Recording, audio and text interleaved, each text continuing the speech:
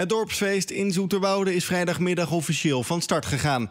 Burgemeester Liesbeth Bloemen kwam langs bij de spelletjesmiddag voor ouderen om het startsein te geven. Heel veel plezier vanavond en het dorpsfeest is geopend. Dank u wel. Hoe belangrijk is het voor het dorp? Ja, belangrijk weet ik niet, maar het is gewoon leuk.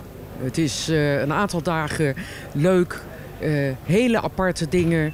En wat nog leuker is, het wordt dus door allerlei verschillende organisaties georganiseerd. Mijn opdracht is, praat nou eens met iemand die je niet kent.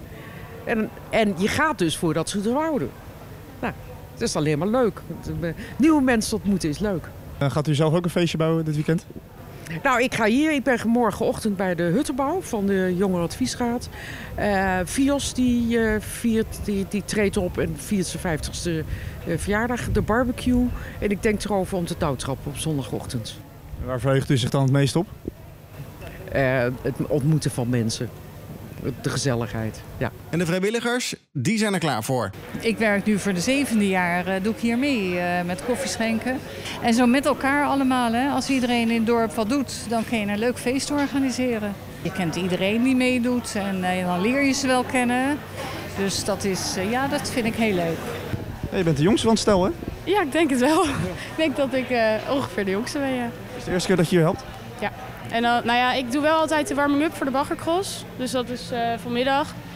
En uh, nou, dat vind ik heel leuk om te doen. Dus ik denk, nou, ik geef me gewoon op als vrijwilliger. En uh, nou, daar ben ik. ik denk dat de avonden toch wel gewoon leuk zijn. Leuke mensen zijn er.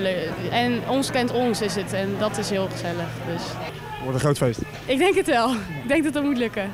Tot en met zondag wordt er gefeest bij Sportpark Haasbroek aan de Nieuwe Weg.